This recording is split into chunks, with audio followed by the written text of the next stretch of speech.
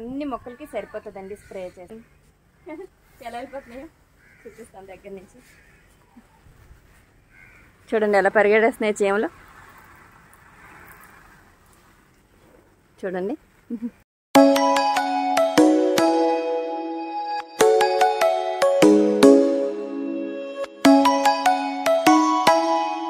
Hi hello friends అందరికీ నమస్తే. Good morning friends అందరికీ. ఎలా ఉన్నారండి? అందరూ బాగున్నారా? మన చుట్టూ అందరూ బాగుండాలి అందులో మనం ఉండాలి. ఈరోజు మనం చామంతి మొక్కలు కట్టింగ్స్ ద్వారా ఎలా పెంచుకోవాలి అప్పుడు ఎలా మనం దాన్ని సర్వైవ్ చేయించుకోవాలో చూద్దామండి. అలాగే నాకైతే చెప్పాను కదా ఆర్డర్ ఇచ్చాను చెప్పాను కదండి ఆ చామంతి మొక్కలు అయితే వచ్చేసాయి. అవి కూడా మనం కలుపుకున్న మట్టి మిశ్రమంలో నాటుకుందాం ఈరోజు. చాలా విషయాలు తెలుసుకుందామండి. చాలామంది అడిగారు చామంతి కటింగ్స్ ద్వారా ఎలాంటి దాంట్లో నాటుకుంటే వస్తాయి అని చెప్పి చూపించమన్నారు వీడియో ద్వారా. సో అందుకనే నేను మీకు ఈరోజు ఈ వీడియోని షేర్ చేయబోతున్నానండి. ఈ వీడియో కనుక కొత్తగా చూసే వాళ్ళైతే సబ్స్క్రైబ్ చేసుకోండి. బెల్ ఐకాన్ వస్తుందండి క్లిక్ చేస్తే ఏ రోజు వీడియో సరజు మీకు నోటిఫికేషన్ ద్వారా వస్తాయండి. మనం ఇప్పుడు చామంతి మొక్కల్ని ఎలా కటింగ్స్ ద్వారా ఎలా పెంచుకోవాలి వచ్చిన చామంతి మొక్కలు ఇప్పుడు నర్సరీలో కూడా వస్తూ ఉంటాయి చిన్న చిన్నగా. అవి కూడా తెచ్చుకొని మనం ఇప్పుడైతే చక్కగా నాటుకోవచ్చు. అవి ఈరోజు ఎలా చేసుకున్నో చూద్దామండి. అంతేకాకుండా ఇప్పుడు సీజన్ వర్షాలు పడుతూ ఉన్నాయి కదండి బాగాన. ఈ వర్షాలు పడే టైంలోని మనకి పెస్ట్ కూడా బాగా విపరీతంగా వచ్చేస్తూ ఉంటుంది.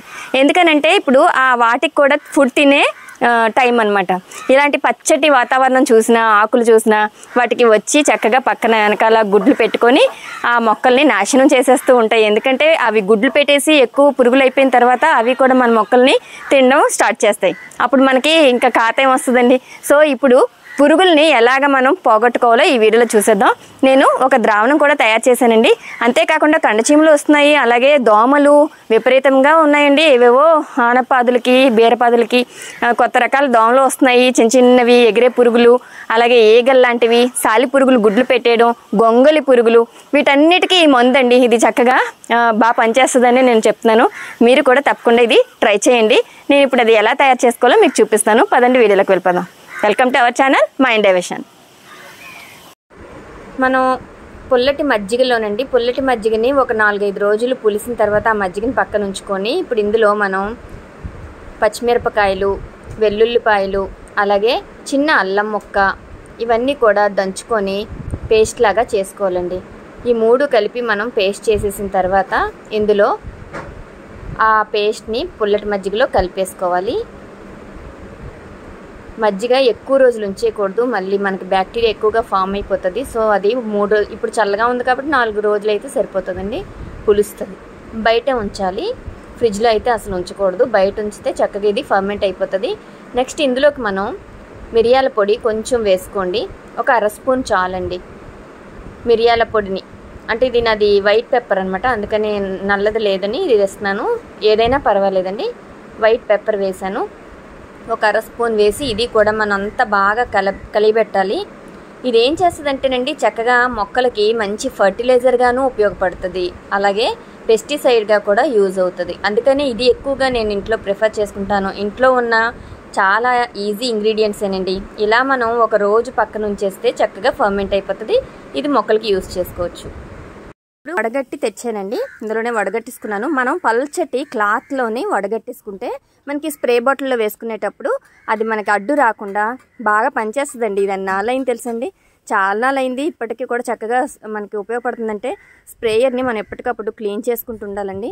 ఇది వాడేసిన తర్వాత ఇది మనం కొంచెం కడిగేసుకోవాలి శుభ్రంగా కడిగేసి లోపల కూడా ఏమీ నాచు పట్టకుండా కొంచెం క్లీన్ చేసేసుకున్నాం అనుకోండి. సర్ఫును కొంచెం ఆ, సోడా ఉంటుంది కదండి బేకింగ్ సోడా దాన్ని వేసి కొంచెం గెలకొట్టి ఒక పోటు ఉంచేస్తే చక్కగా అందులో ఉన్న నాచు ఇలా ఏమైనా ఉన్నా కూడా అది పోతుంది. సో క్లీన్ చేసుకొని ఉంచుకుంటే మనకు బాగా పనిచేస్తుంది. సో ఇప్పుడు ఇది బాగా యూజ్ అవుతుందండి మొక్కలకైతే మంచిగానా? ఎందుకని చెప్తున్నానంటే ఇక్కడ మీకు చూపిస్తాను. బాగా కండ చీమలు కూడా బాగా ఎక్కువగా ఉంటున్నాయండి గార్డెన్లో. ఎందుకంటే ఇప్పుడు చీమలు వచ్చే టైం కూడా అనమాట చూస్తున్నారా అక్కడ? అదిగోండి అదేదో ఈగ. పక్కనే చీమలు కండ చీమలు. ఇది ఏదో ఈగ. అలా అండి. ఇవి ఎగురుది మనకేం చేస్తాయంటే వెనక వెనకాతల గుడ్లు పెట్టేస్తూ ఉంటాయి. మనకి ఈ మిలీబగ్స్ని క్లియర్ చేస్తామా?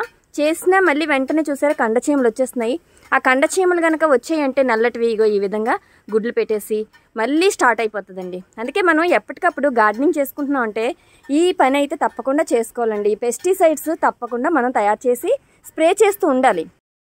ఫిఫ్టీన్ డేస్కి ఒకసారి అయినా సరే ఇవి మనం స్ప్రే చేసాం అనుకోండి ఆ మొక్కలు ఇంకా అలాంటి పెస్ట్ నుంచి అయితే చక్కగా రక్షించబడతాయండి. తప్పకుండా అయితే స్ప్రే చేసుకోండి.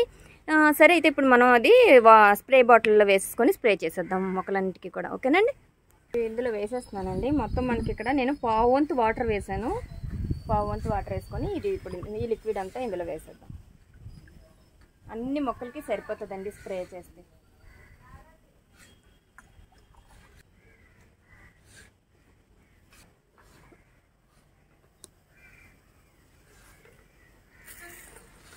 అంతే అండి. దెబ్బకి చీమలన్నీ పరిగెట్టేస్తాయండి. చూడండి. ఎలా వెళ్ళిపోతున్నాయో చూపిస్తాను దగ్గర. చూడండి ఎలా పరిగెడేస్తున్నాయి చీమలు.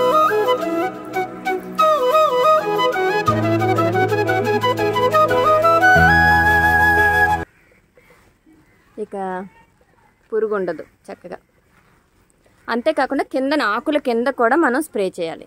మ్యాక్సిమం ఆకుల కిందనే స్ప్రే చేయాలి. ఇలా అన్ని మొక్కలకి నేను ఇవైతే స్ప్రే చేసేస్తానండి. మీకు కూడా మంచి యూస్ఫుల్ ఇది. తప్పకుండా ట్రై చేయండి.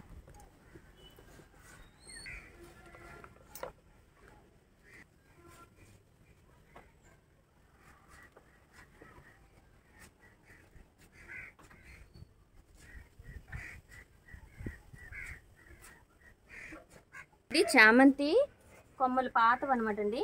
ఇవి మనం ఇలా ఉన్నప్పుడు మనం కట్ చేసుకుందాము.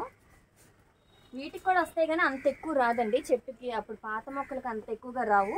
మనం ఇలాగా స్టెమ్స్ అయితే తీసుకోవాలి. ఈ మాత్రం పొడవు ఉంటే సరిపోతుందండి. ఇవి ఇలా కట్ చేసుకొని తీసుకువెళ్ళి వేరే చోట నాటుకుందాం.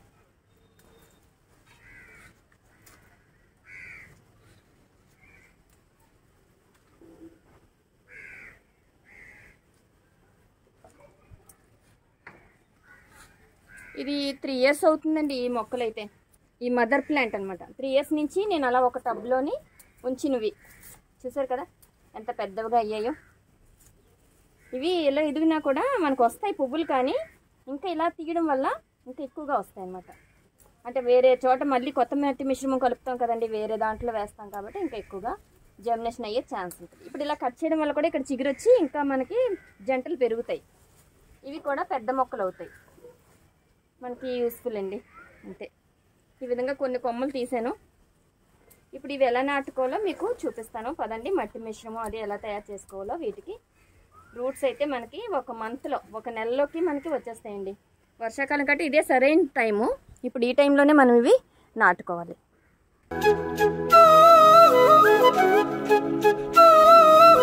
ఇప్పుడు మనం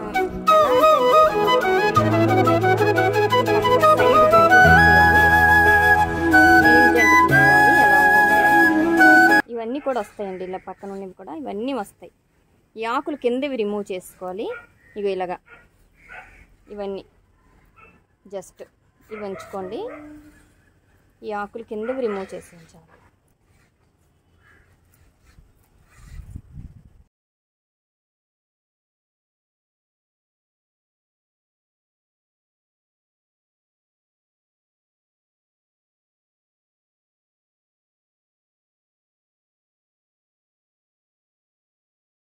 ఇప్పుడు ఈ స్టెమ్స్ నుండి మనం ఇలా ఇసుకలో కలిపి ఇసుక ఉంటుంది కదండి మనం ఈ ఇల్లు కట్టుకునేటప్పుడు తెచ్చుకునే శాండ్ దాంట్లోనే. కొంచెం తడిపాను ఇది దీనికి అలాగే యాసిటీస్ హోల్స్ ఉంటాయి మనం కప్పుకొని దాంట్లో మట్టి ఇలా ఇసుక వేసుకొని ఇసుకలో కూడా నాటుకోవచ్చండి. అలాగే ఇప్పుడు ఇది గ్రో బ్యాగ్ ఉంది కదా ఈ గ్రో బ్యాగ్లో ఏంటంటే వర్మీ కంపోస్టు కోకోపీటు ఈక్వల్గా వేసుకోవాలి. కొంచెం శాండ్ యాడ్ చేసుకుంటే శాండ్ అంటే గార్డెన్ సాయిల్ యాడ్ చేసుకుంటే సరిపోద్ది. ఇదండి అది మన మట్టి మిశ్రమం. ఇందులో కూడా మనం నాటుకోవచ్చు. తడిపు ఉంచాను ఇప్పుడు ఇందులో కూడా వేసుకుందాం. అయితే మనం కొమ్మలు నాటుకునే ముందు కొమ్మల్ని ఫస్ట్ అయితే మనం దీనికి ట్రైకోడర్మాని అప్లై చేద్దాము. ఏదైనా ఫంగస్ ఉన్నా ఇన్ఫెక్షన్ ఉన్నా పోతుంది కదా. ఇక్కడ తెచ్చానండి. అయితే ఇప్పుడు ఇది చిన్న వాటర్లో కనిపిస్తుందా? వాటర్లో కొంచెం ఒక స్పూను అలా కొంచెం వేస్తే సరిపోద్ది. మనకి ఇంకా వేరుకుళ్ళది రాకుండా ఉంటుందని ఇలా కొంచెం. ఇది కానీ లేదా దాల్చిన చెక్క పౌడర్ ఉన్నా పర్లేదు అలోవెరా అప్లై చేసుకున్నా పర్లేదు. ఈ ఏదైనా అప్లై చేసుకోవచ్చండి ఇలాంటివి. మనకి ఏం లేదు మనకి బాగా జర్మినేషన్ కోసం కొంచెం ఇలా కిందనే ఇలా తడుపుకొని ఇలా గుచ్చేసుకోవడమే. అంతే. జస్ట్. ఇలాగా జస్ట్ ఇలాగా అప్లై చేసేయడం మట్టిలో. నాటుకుంటే సరిపోతుంది. ఇది కొంచెం ఎండలో ఉంచకండి. కొంచెం షేడ్లో పెట్టండి. బాగా ఎండ కాస్తే మాత్రం వద్దు. ఓకేనా? ఇలా అన్ని కొమ్మలు నాటేస్తానండి. జస్ట్ ఈ పొడవు గున్నవన్నీ గురో బ్యాగ్లో పెడుతున్నాను. పొట్టి గున్నేవి ఇసుకలో పెడదాము. అంతే. ఇందులో కూడా చూపిస్తాను. కొంచెం ఇసుక ఉంది కదా ఇసుకలో.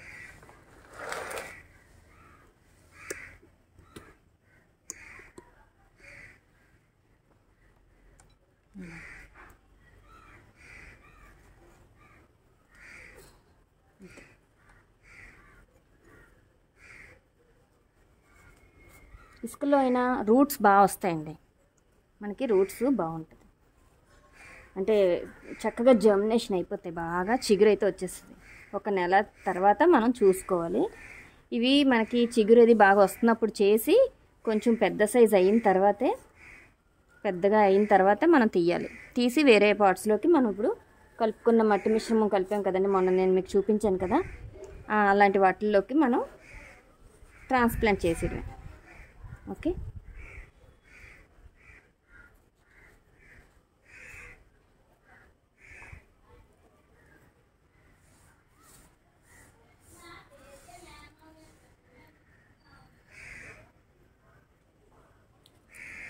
ఇదిగోండి చామంతి మొక్కలు వచ్చాయని చెప్పాను కదా ఇవి ఆర్డర్ పెట్టాను.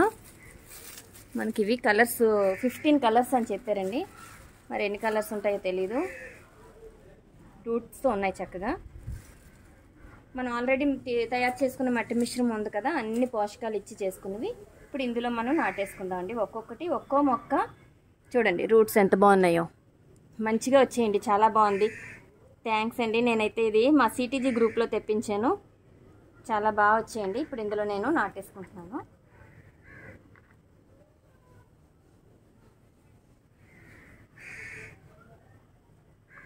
అంతే అండి ఇంకేం లేదు. జస్ట్ ఇలాగా నాటేసుకొని నీడనే ఉంచుకుంటే బెస్ట్ అనమాట వెంటనే మనం ఎండలోకి షిఫ్ట్ చేయకూడదు. అయినా వర్షాలు పడుతున్నాయి రండి కానీ ఇంకా ఏం నో ప్రాబ్లం. ఇంకా ఇప్పుడు ఇవి నాకు ఈ పాట్స్ ఏమి సరిపోవు. ఫస్ట్ ఇప్పుడు ఇందులో నాటేస్తాను తర్వాత చూద్దాం. అంతే అండి ఇలా నాటేసుకోవడమే. చాలా ఫ్రెష్గా ఉన్నాయండి మొక్కలు అయితే చాలా హెల్దీగా ఉన్నాయి.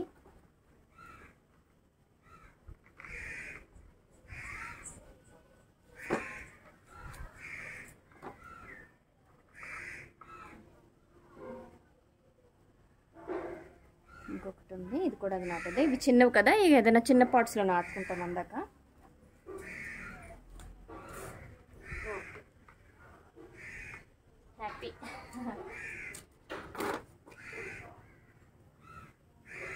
మూడు మూడు ఆరు ఏడు ఎనిమిది